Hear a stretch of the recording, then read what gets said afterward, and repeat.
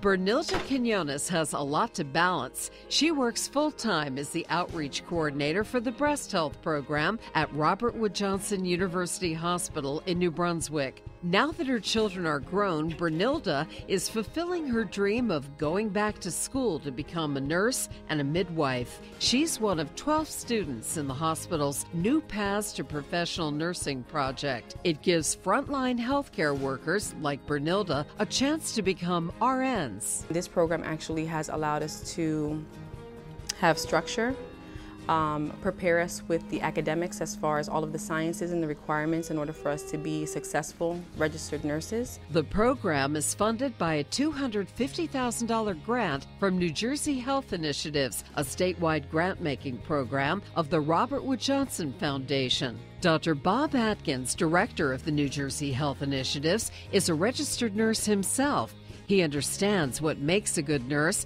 and says these pathway participants have all the right qualities. I was having my blood work done, just regular typical blood work, and this individual who did the blood work was obviously an expert. She took it very seriously. She was had great interpersonal skills. She was technically proficient in what she did. She was reassuring, she was compassionate. She had all these qualities that we want to see in nurses. And I said, this person should be a nurse.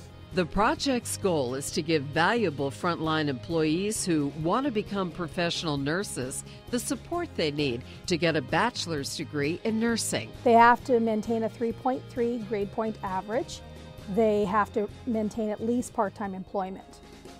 Um, if they do all those things at the end of two years, they're um, guaranteed a spot at Rutgers University Nursing School and they're also guaranteed a position at Robert Wood Johnson once they graduate and become RNs. The majority of them have um, had to put their dreams on hold because of life situations. Being a teenage mom,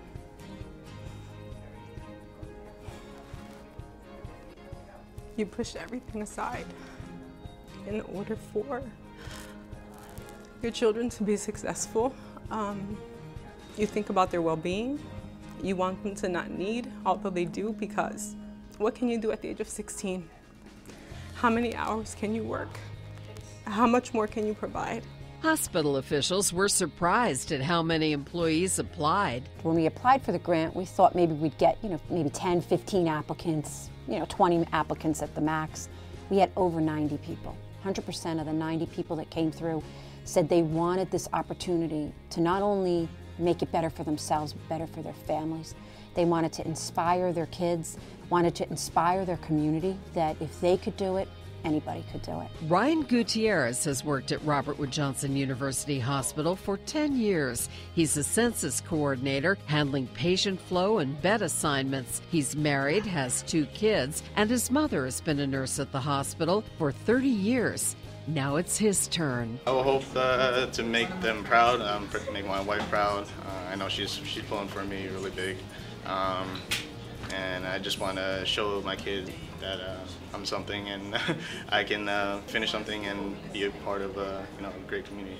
Shira Maples has worked at RWJ for 15 years. She started in the ER and now schedules surgery in the OR. She just attacks everything the way that you saw her at work. I mean, she is in charge, and you know, people are coming to her and asking her about, you know, this OR room and that OR room, and you know, she's on the spot. She knows how to do her job really well. Shira's goal to be an RN and the operations manager of the OR. Just being around all the nurses here, especially in this department, is uh, the pulse of the hospital. Is where if you're broken, we fix you. If you're ripped open, we fix you.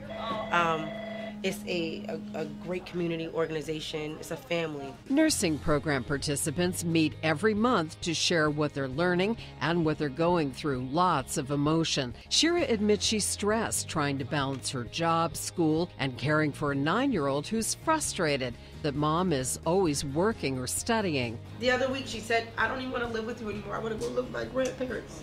So.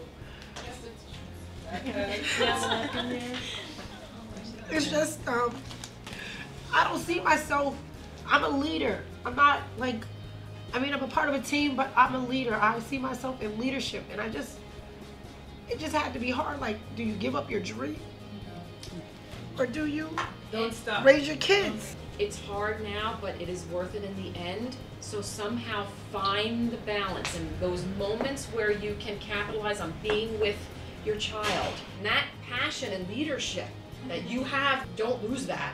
Not a lot of people have that. No, and I own it. And you and you will get there. For Shira and the other aspiring nurses, it's a lot of hard work and sacrifice, but all of the students are focused on the end result an RN degree and a guaranteed nursing job in a familiar setting at Robert Wood Johnson University Hospital. I would say that I'm excited to see what happens with the next generation of nurses coming up in the community, from the community, continuing to take care of the community.